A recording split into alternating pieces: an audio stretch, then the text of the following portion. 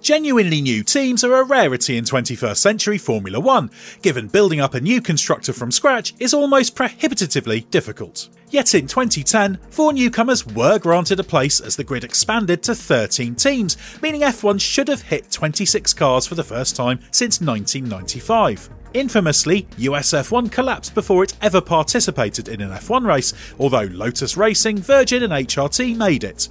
Or at least they did for a time, as all had vanished by 2017. So let's look back at what led to that flurry of newcomers and why they failed to stick it out in F1. The arrival of the new teams in 2010 was down to a combination of politics and the economic situation. F1's political landscape was dramatically different back then.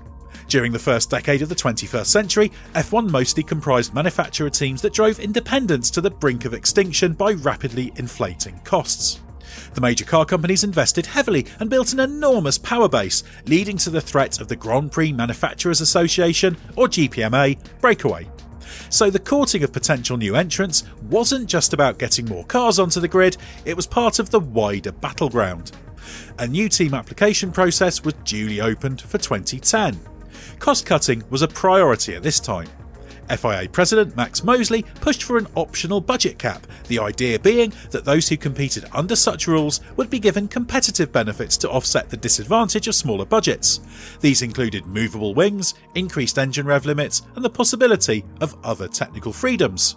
Initially, £30 million was the suggested figure, although when the FIA World Motorsport Council signed off the plan in April 2009, that had risen to £40 million. The basic outline was similar to today's cost cap with a lengthy list of exclusions. While entering F1 as an independent constructor to compete against megabucks teams was unappealing, the two tier system at least made it more realistic. Following the demise of the GPMA, the Formula One Teams Association, FOTA for short, was pitted against the FIA. It too threatened a breakaway because of concerns about the extreme measures proposed by Mosley. After an extended period of wranglings, FOTA eventually abandoned the breakaway threat after agreeing to formulate major cost reductions on the proviso the optional budget cap was dropped. The FIA agreed, and budgets remained unlimited. Of course, the changes that were made didn't make it close to being possible to be competitive on a 40 million budget, but by this point the new teams were committed. In June 2009, shortly before the FIA and the teams agreed on their truce and the breakaway threat was extinguished, the successful applications were announced. These were Campos Grand Prix, Manor Grand Prix, and USF1. That's right, no Lotus. Yet. To understand why, keep watching.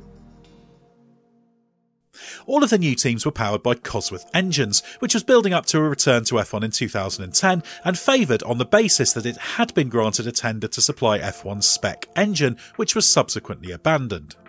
The door was also left open to other new teams in case places became available.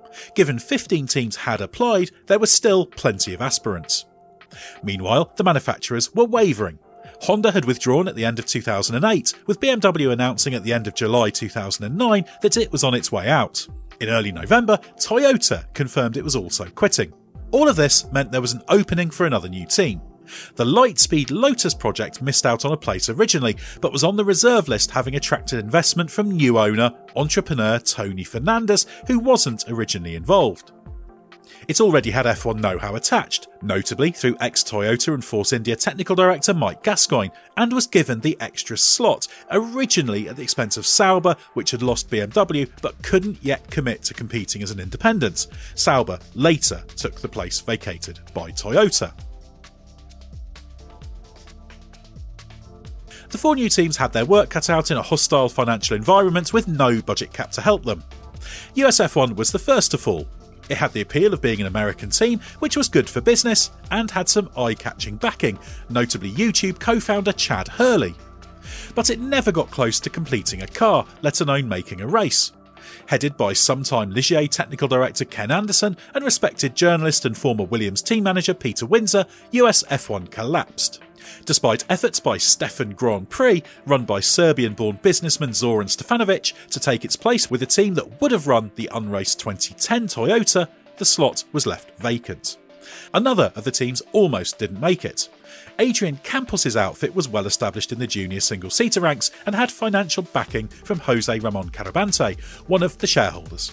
The team had a deal with Dallara to design, build, and develop the chassis, and was originally led by Campos and the experienced Daniele Audetto, who would run the Super Aguri team as managing director. But amid rising costs, sponsorship deals collapsed, including backing from Meta Image that led to the team's short lived Campos Meta 1 title, and Campos parted company with the team before the season started.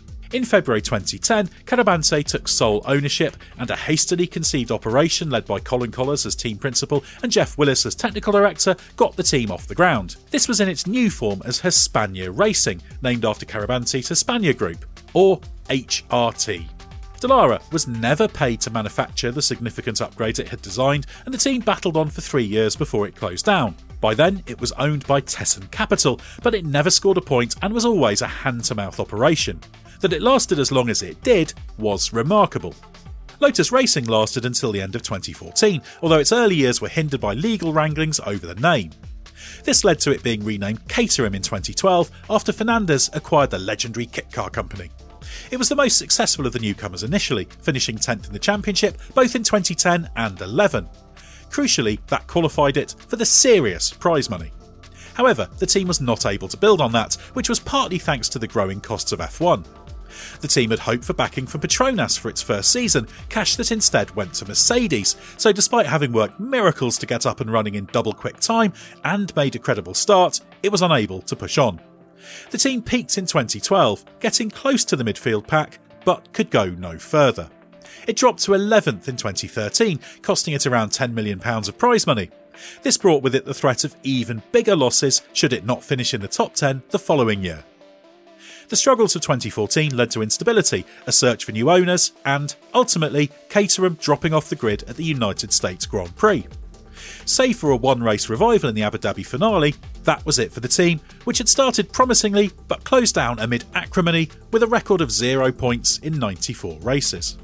The most successful of the new teams was Virgin Racing, a joint venture between Manor and Wirth Research.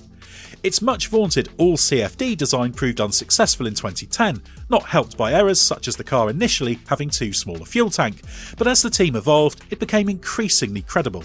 The relationship with Wirth ended during 2011 and it aligned itself with Ferrari. That allowed it to recruit Jules Bianchi in 2013 after initial driver Luiz Razia's sponsorship money dried up before the season started. Bianchi scored points for his battling drive to ninth at Monaco the following year. That made it the only member of the 2010 intake to score points, a feat it repeated with Pascal Wehrlein at the 2016 Austrian Grand Prix. By then, the team had become Manor after its alliance with Russian car company Marussia ended. The team worked miracles to continue, considering a combination of parting with Marussia and the devastating loss of Bianchi after his 2014 Japanese Grand Prix accident. But this was a team with real spirit, genuine potential, and strong leadership, and it battled on. It was taken over by billionaire Stephen Fitzpatrick for 2015 in the hope of either landing more backing or being able to sell the team on. Team founders John Booth and Graeme Lowdon left at the end of 2015. Ultimately, Manor was doomed by the financial hit of losing 10th in the Constructors' Championship to Sauber by the narrowest of margins in 2016. The administrators were called in, and Manor couldn't be revived. That made it the last of the 2010 influx to fall. While the class of 2010 brought much to F1 ambition, the odd giant killing performance, and a boost to grid numbers they were never given a fair crack of the whip. The dropping of the budget cap was the key factor, which was the consequence of the new teams being used as a political football in a wider battle. Far from dropping, budgets continued to rise and the team spent most of their time propping up the grid. While the plucky underdog teams produced some memorable moments, and considering their disadvantage, proved themselves to be very effective teams, they were doomed before they even started.